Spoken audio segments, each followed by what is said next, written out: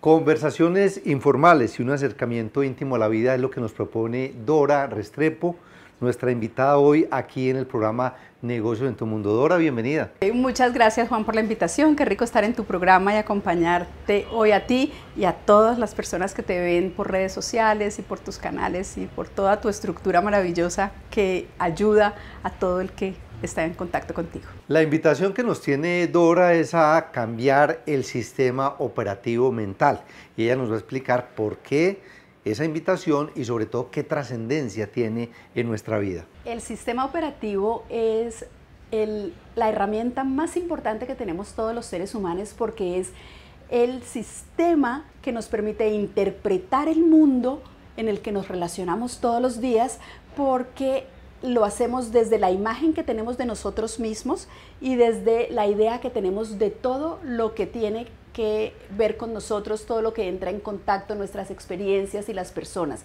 El sistema operativo es la programación que tenemos que nos permite leer el mundo. Entonces, si yo pienso que soy bonita o fea, buena o mala, inteligente o menos, de esa manera me relaciono con el mundo. Si veo el mundo desde la víctima, si veo el mundo desde la agresión, si veo el mundo desde la resistencia o si en cambio soy una persona proactiva, positiva y veo el mundo desde la efectividad, desde la contribución, desde sumar a todo el que entra en contacto conmigo. Entonces, saber que tenemos un sistema operativo, conocerlo, permitirnos conocernos a nosotros mismos es la herramienta principal de nuestros éxitos y de nuestros fracasos, de nuestras tristezas y de nuestras alegrías. Por eso te invito a que conozcas tu sistema operativo y realmente conozcas quién eres. Y hay una cosa maravillosa, y el sistema operativo tú lo tienes allí, vives desde él, pero lo puedes cambiar. Una vez sabes que lo tienes, sabes qué te ayuda y te suma o qué te resta, puedes sentarte, coger una hoja y hacer todo un análisis interno. ¿Quién soy? ¿Qué soy? Y lo puedes cambiar. Dora, dentro del manejo de ese sistema operativo, obviamente juega un papel muy importante el tema de las creencias. Y usted lo decía ahora, que se pueden cambiar. O sea, eso es lo bueno del sistema operativo, es que se puede instalar y desinstalar cosas. Hablemos de cómo instalar esas creencias potencializadoras y eliminar esas creencias que son tóxicas, que son limitantes. absolutamente. Es muy importante cuando yo conozco desde dónde me muevo. O sea, ¿cuál es la intención en mi vida? Esa es la base de toda creencia. Eh, ¿Por qué lo creo? ¿Cómo llegó esta información a mi vida? ¿Qué poder le di? Porque es que las personas o las imágenes o las creencias tienen autoridad en mi vida porque yo les he concedido la autoridad. De hecho, a todos nos ha pasado que algún día alguien que era muy importante y muy especial para nosotros de pronto como que se desinfló y uno dice se bajó del pedestal o uno lo bajó o él solito, esa persona o esa situación o esa cosa se bajó del pedestal. Eso es de manera muy gráfica lo que es cambiar la creencia. Entonces, si esa persona yo le he dado el poder y ya no tiene poder en mi vida, yo soy la que decide a quién empodero, eh, qué, surge en mi vida reemplazando una actitud, una relación, eh, una situación. Entonces, las creencias son nuestras. Han venido a nosotros de alguna manera, nuestros padres nos han enseñado, la sociedad nos dice que es bueno o es malo, tú eres buen comunicador, entonces debes estudiar comunicación, si yo soy eh, peliona o no me dejo, usted debe ser abogada, eso, eso es parte de las creencias. Y somos nosotros los que en un momento dado, dado nos paramos, revisamos nuestras vidas y podemos tomarlas, tomar la vida en nuestras manos y decir, realmente esto es lo que yo quiero, en esto que me he convertido, me siento feliz es que todos los días nos convertimos en algo de acuerdo a esas creencias, que son tóxicas o limitantes cuando nos permiten en la vida del otro restar. O sea, llegamos restando, eh, causando tristeza, sufrimiento y dolor. ¿Qué más importante que yo llegar a tu vida y contribuir a ser positivo, a generar paz, porque decimos que la paz la firma el gobierno la paz eh, se consiga por la política y la paz la construimos todos los días. Yo me convierto en paz, soy generador de paz. Entonces, ¿soy yo quien elige? Hay gente tóxica, claro que sí, ellos han elegido serlo, pero qué rico que aquí podamos invitar a la gente que de alguna manera es negativa, conflictiva y crítica, a que se revisen primero, a que vean en qué zapatos están parados y a que siempre se pongan en el zapato del otro, siendo proactivos, productivos y eh, contribuyan, que pasen por la vida de uno y uno diga, qué bueno fue haberme encontrado esta persona.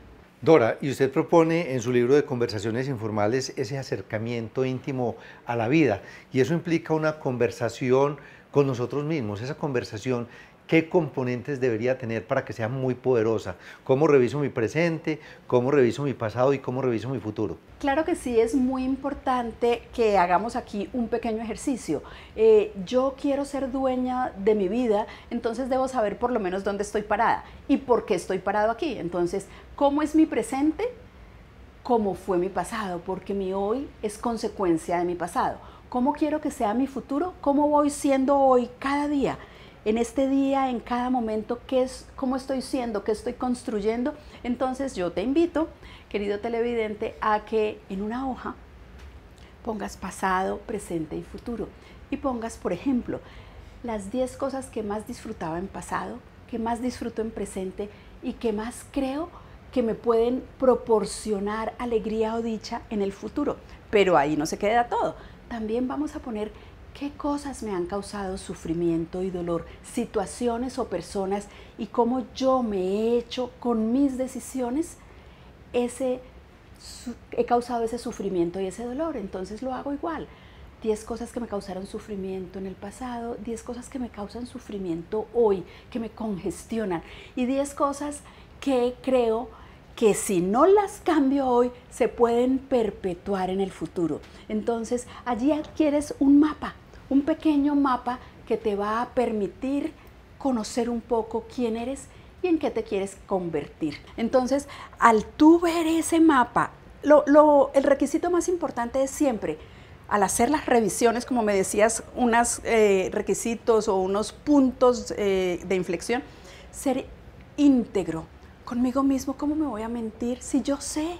Yo sé qué he hecho, yo sé cuál ha sido la motivación. Entonces, ser honesto. En esta revisión de pasado, presente y futuro, porque es que hoy estoy construyendo mi futuro, o sea que yo puedo revisar mi futuro desde mi hoy. Entonces, al ser íntegro y honesto, primero, es ser transparente, responsable y no estarle echando no buscando el muerto río arriba, como decían antes, es ser, ser real, ser honesto. Entonces, soy transparente, tengo una comunicación clara y sentir ternura conmigo, respeto, no darme duro. Sí, me he equivocado, ¿quién no? Sí, he hecho cosas que luego me causaron sufrimiento y dolor, ¿quién no? Pero hoy tengo en mis manos la opción de elegir en quién me quiero convertir todos los días y qué quiero, cuál quiero que sea la contribución mía hacia tu mundo, hacia el mundo de ustedes. Yo soy responsable de eso. ¿Cuál es la huella que estoy dejando? ¿Y cuál es la intención en que me muevo cada día? Eso creo yo que es importantísimo que tengamos en cuenta todos. Dora, contemos finalmente sobre el libro Libérate, Transformate, Evoluciona, Conversaciones informales, un acercamiento íntimo a la vida. ¿Qué van a encontrar acá los lectores? El libro es un regalo. Es un regalo que me dio la vida a mí y que yo te lo doy a ti. Me lo dio ¿por? Porque la vida ha sido sensacional, me ha dado oportunidades maravillosas no solo de experimentar, sino de sentir sufrimiento, dolor, de estar triste, de tener problemas, pero también de saber que es una decisión, que yo decido qué hago con todo esto que llega a mí. Y no decir es que me pasó, es que llegó, es que el otro me hizo, no. Esto que me enseña, esto que me propone, qué puedo revisar y en qué me puedo convertir. Entonces, el libro es producto de experiencias, de búsquedas por muchos lugares, países, escuelas de pensamiento, religiones comparadas. Es producto de un trabajo intenso, serio y profundo que te propongo como el libro que yo hubiera querido antes de todo este sufrimiento y dolor, tener un poquito en mi mesa de noche y poder leer y relacionarme cuando tengo problemas de amistad, de muerte, de duelo, de pareja, de padres, cuando tengo problemas con mi alimentación, cuando tengo problemas con el dolor, con el sufrimiento. Entonces es un libro que te invita como amigo, porque te invito, querido amigo lector, a que hagamos un análisis de la vida, de qué se trata, por qué, y recorramos a conciencia, de manera consciente y responsable, todas estas áreas que me llevan la relación del diario vivir.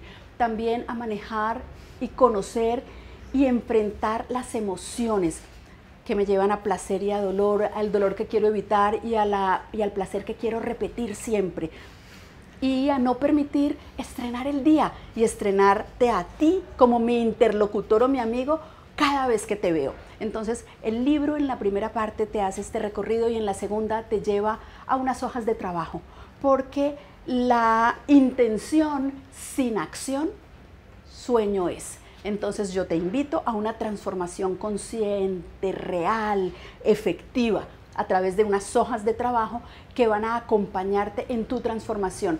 Si realmente quieres transformarte, este libro es para ti. Si realmente quieres crecer, este libro es para ti. Si realmente quieres convertirte en un ser que suma a la vida y que apoya y que produce eh, paz, armonía, alegría, que tu célula familiar se enriquezca contigo, que no te quejes de que a esta familia vine, sino cómo puedo hacer esta familia mejor. El libro es para ti. El libro definitivamente te va a transformar. Te vas a transformar con él, te vas a transformar leyéndolo. Dora, muchísimas gracias por acompañarnos aquí con este tema tan interesante aquí en Negocios en tu Mundo.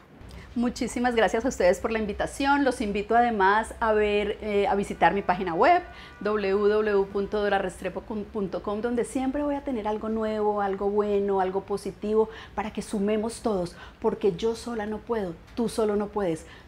Todos podemos. La unión hace la fuerza. La unión de paz crea paz. ¿Qué queremos de la vida? Hagámoslo, produzcámoslo, generémoslo. Muchas gracias a ustedes. Muy bien, Dora, este es Negocios en tu Mundo para aprender y disfrutar del mundo empresarial.